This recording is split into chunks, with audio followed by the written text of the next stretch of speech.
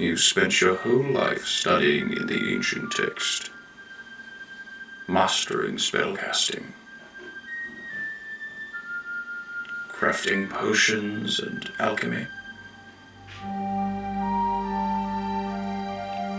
But now, the Grand Wizard Council calls for your final test the trial of Wizard's Tower.